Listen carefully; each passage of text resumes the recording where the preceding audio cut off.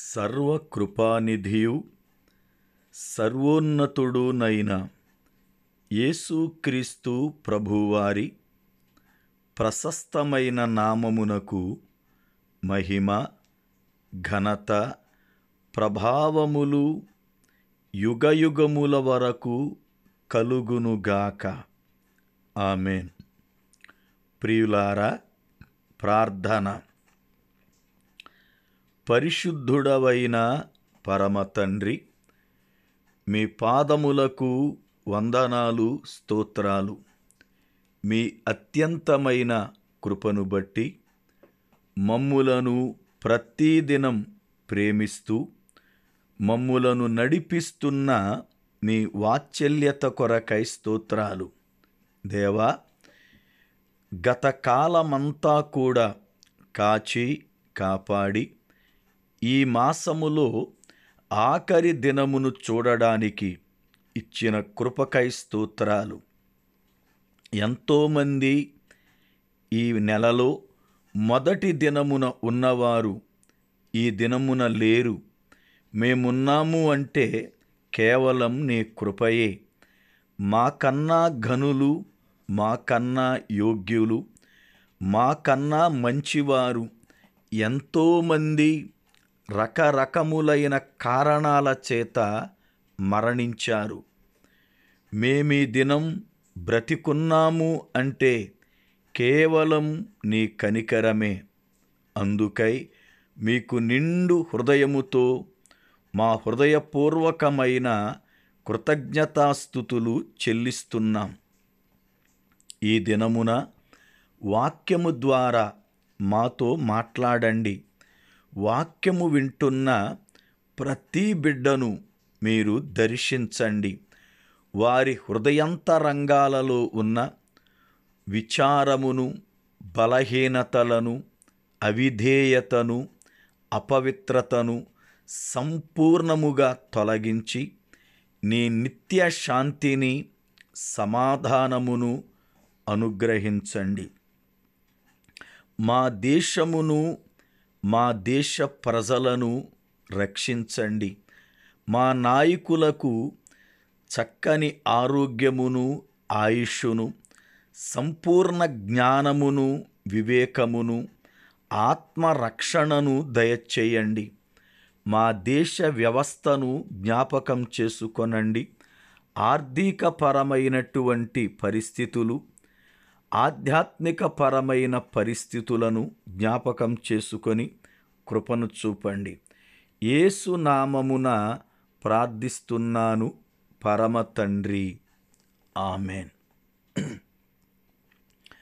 ప్రభువునందు ప్రియ సహోదరి సహోదరులారా ఈ దినము అనగా జనవరి ముప్పై ఒకటి సోమవారపు ఉదయకాలము వేళ దేవుని వాక్యమును వింటున్న మీ అందరికీ దైవజనునిగా living prayer fellowship ministries international పరిచర్య పక్షముగా నా హృదయపూర్వకమైన శుభములు.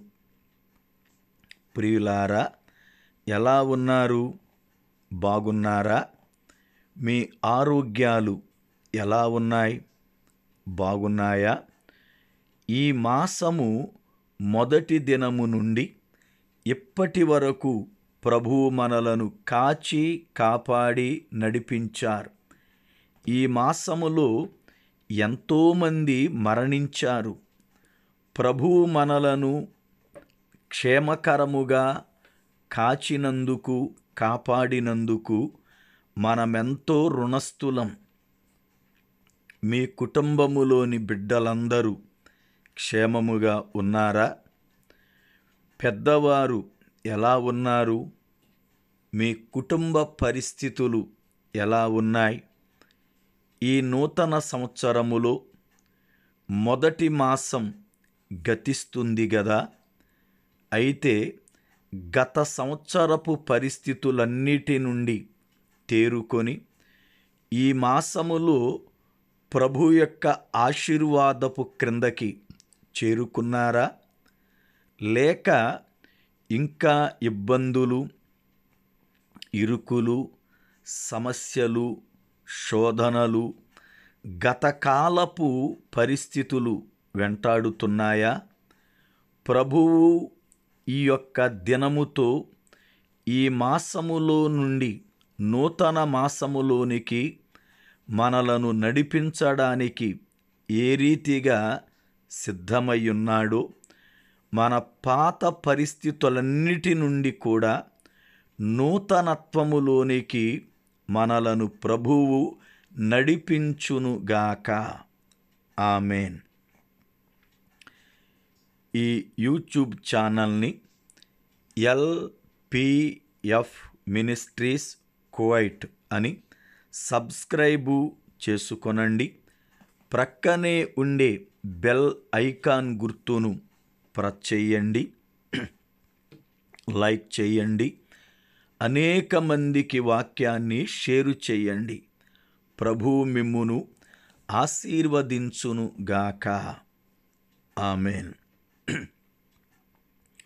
ప్రియులారా మనము గత కొంతకాలముగా పరమగీతముల గ్రంథం మొదటి అధ్యాయం. మొదటి వచనము నుండి వచనం వెంబడి వచనాన్ని ధ్యానిస్తున్నాం. ఇప్పటికీ ప్రభువు మనలను నాల్గవ అధ్యాయం పదమూడవ వచనములోనికి నడిపించారు. నిన్నటి దినమున పదమూడవ వచనం ప్రారంభించుకున్నాం. గనుక ఆ వచనపు మొదటి వరసను చదివి వాక్యాన్ని విందాం. పరమగీతములు నాల్గవ అధ్యాయము పదమూడవ వచనం. నీ చిగురులు దాడిమ్మ వనము. దేవుని లేఖనములో ఒక చెట్టునకు చిగురులు ఎలాగైతే ఉంటాయో క్రొత్త కొమ్మ ప్రారంభము చిగురు గనుక ఎలాగైతే చిగురులుగా ఆ కొమ్మలు ప్రారంభించబడతాయో సంఘం అనే దానిలో కూడా క్రొత్తగా రక్షింపబడిన వారు చిగురులుగా ప్రారంభమవుతారు. చిగురులు నూతనమైన విశ్వాసులకు సాదృశ్యం. క్రొత్త కొత్త జన్మ అనుభవము కలిగిన వారికి సాదృశ్యం. ఏ వ్యక్తులైతే ప్రభువులోనికి వచ్చి పాత జీవితము నుండి విమోచించబడి నూతన జన్మ అనుభవములోనికి వస్తారో వారు చిగురులుగా పోల్చబడ్డారు. సోదరుడా సోదరి నీకు క్రొత్త జన్మ అనుభవం ఉందా? క్రొత్త జన్మ అనుభవం రావాలి అంటే పాతది చావాలి.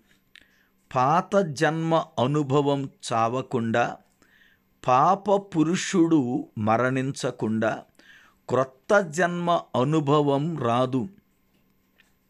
క్రొత్త జన్మ అనుభవం లేకపోతే మనము పరలోకములో ప్రవేశించే యోగ్యత ఉండదు.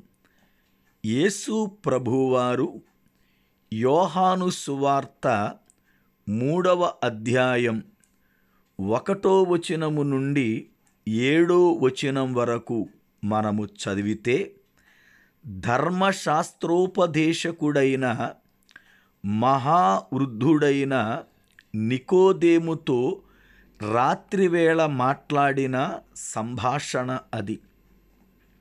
ఒకడు క్రొత్తగా జన్మించితేనే గాని పరలోక రాజ్యమును చూడడు దానిలో ప్రవేశింపడు అని ప్రభువు సెలవిచ్చారు. సోదరుడా సోదరి నీకు ఎన్ని సంవత్సరాల సీనియారిటీ ఉంది అనేది కాదు. నీవు ఎంతకాలముగా మందిరానికెళుతున్నావు అనేది కాదు. ఎన్నిసార్లు బైబిల్ గ్రంథాన్ని చదివావు అని కూడా కాదు. నీవెంత గొప్ప ప్రార్థన పరుడవి పరురాలువి అని కూడా కాదు. నీ సంఘములో నీకెంతో గుర్తింపుంది అని కాదు. నీ జీవితములో క్రొత్త కొత్త జన్మ అనుభవం ఉందా? ఎందుకంటే నేడు చాలామంది క్రొత్త జన్మ అనుభవము లేదు రక్షణ అనుభవము లేదు. మేము క్రైస్తవులం విశ్వాసులం అంటున్నారు కానీ ప్రభువులో రక్షింపబడిన అనుభవం లేదు. మనము ఖచ్చితముగా క్రొత్త జన్మ అనుభవాన్ని కలిగి ఉండాలి. ఎందుకంటే క్రీస్తు యేసునందున్నవాడు నూతన సృష్టి పాతవి గతించెను అని పౌలు భక్తుడు కొరింతీలకు రాసిన రెండవ పత్రిక ఐదు పదిహేడు నందు సెలవిస్తున్నాడు.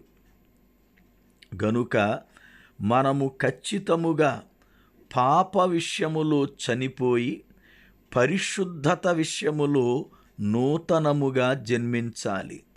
మనము నీతిమంతులముగా పరిశుద్ధులముగా క్రీస్తు రక్తము చేత కడగబడితేనే దేవుని పిల్లలుగా మారతాం.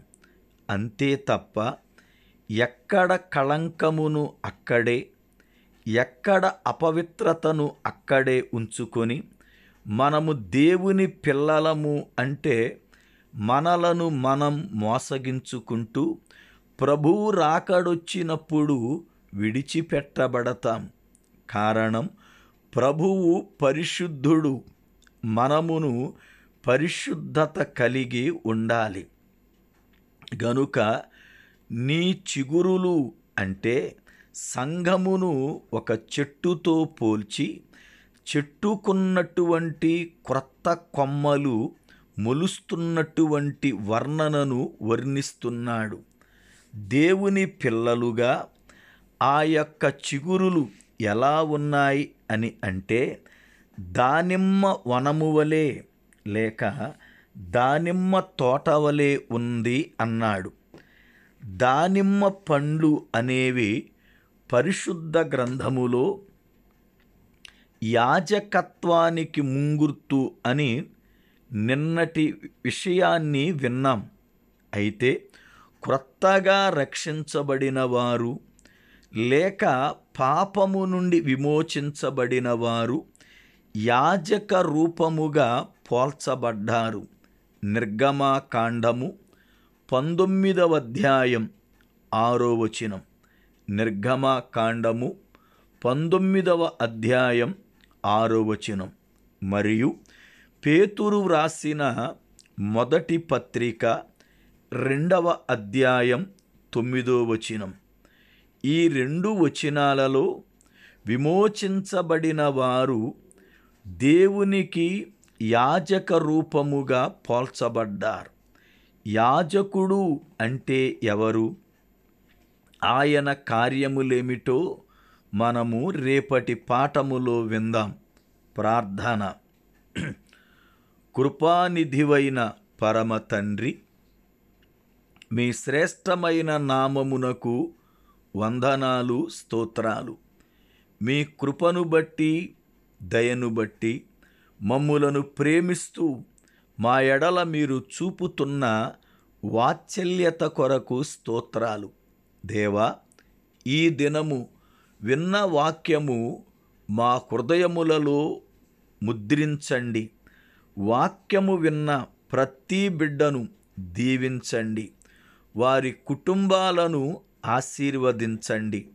కుటుంబాలలో ఉన్న ప్రతి విధమైన అక్కర మీ నామములో తీర్చండి. అనాథలైన వారిని విధవరాండ్రను రోగులను దురాత్మల చేత పీడించబడుతున్న వారిని జ్ఞాపకం చేసుకొనండి.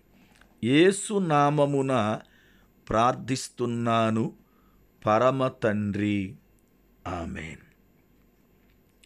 మన పరమ తండ్రి అయిన దేవుని ప్రేమ ఆయన కుమారుడును మన రక్షకుడునైన క్రీస్తు యేసు ప్రభువారి కృప పరిశుద్ధాత్మ దేవుని యొక్క అన్యోన్య సహవాసము ఆయన సన్నిధి మనకును సకల పరిశుద్ధులకును సదా తోడయ్యుండి నడిపించునుగాక ఆమెన్.